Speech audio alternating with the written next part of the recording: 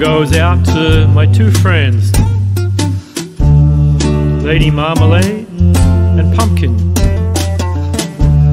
People spread uh, nasty rumours about these girls. Oh, they smell. Not very clever. Never went to Harvard or Yale, but I love them. Funny names, you might say. Yes. Goat, which they are. And as you'll see,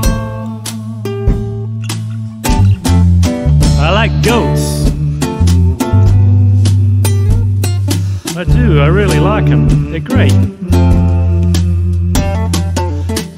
Goats give you milk. Goats give you love. Give you cheese and yogurt. And so much, so much, so much, so much more than the above.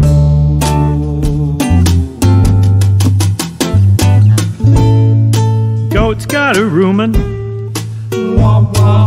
Eats more stuff than a human. They'll give you shrubs of pruning. I like goats.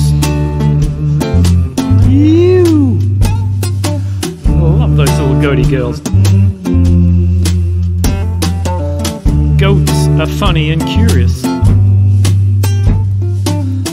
They've got a lot of smarts. There's not much methane gas Where's this going? in their little goatee farts. Yeah, I thought so. So. Goat's got a rumen. Eats more stuff than a human. Give your shrubs of pruning. I like goats.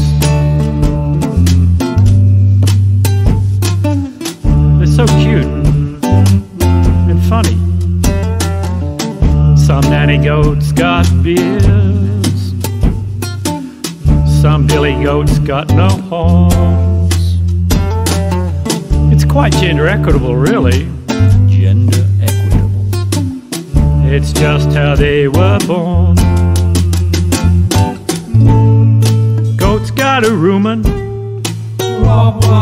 Eats more stuff than a human. They'll give you shrubs a pruning. I like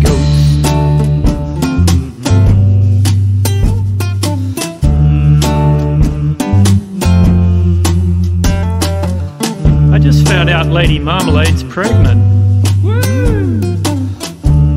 To a Nigerian dwarf. Goat, that is. Soon there's going to be the pitter patter of tiny little hooves. I love that. Goats are generally peaceful. They never swear nor cuss. Ain't got no nuclear weapons. No nukes. No bombs, no guns, no knives, no napalm, no road rage, no school shootings. They're smarter than us.